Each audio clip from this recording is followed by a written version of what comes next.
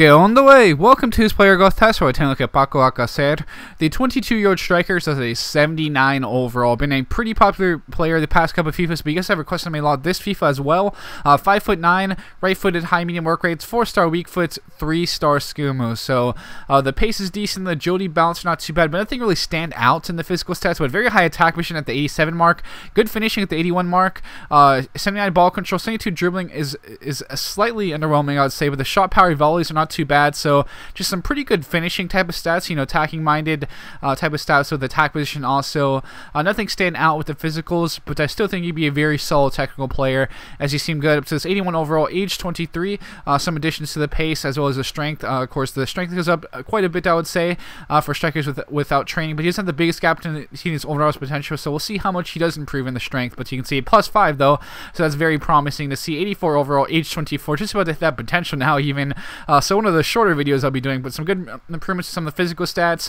Uh, the finishing, short passing also got some good improvements as well. Uh, the volleys, uh, shot power, uh, as usual, gets some ridiculous improvement. It ends up capping at this 85 overall at age 25. Again, one of the short, one of the more shorter videos I'll be doing, but some solid stats regardless. As you can take a look at his growth over the years, strength got some pretty good growth there.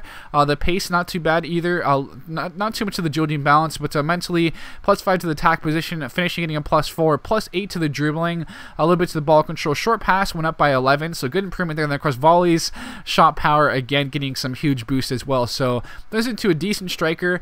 Again, nothing stand out with the physicals, but 5'9 uh, with some solid stats regardless. High, medium, 4-star weak foot, 3-star skill. I'd love to see that 4-star weak foot for a striker. I do think strikers at least 4-star weak foot is uh, kind of a mandatory to me at least. Uh, but uh, 80 is a winger, 84 is a center forward, 81 is a cam, 78 is a right mid, left mid. So, some solid stats all around. Again, more technically based player. Uh, nothing stand out with the physicals. Um, 81 acceleration, 10 sprint speed. It's all pretty solid all around with the, with the pace, the agility, balance, jumping. 70 strength is what so you could grow quite a bit there. Good attack vision at the 92 mark, 80 dribbling, 82 ball control, 85 finishing, maxed out volleys, 88 shot power, decent short passing, definitely at the 83 mark as well, some decent heading accuracy uh, also at the 80 mark. So uh, I definitely think he'd be a very solid player for you guys.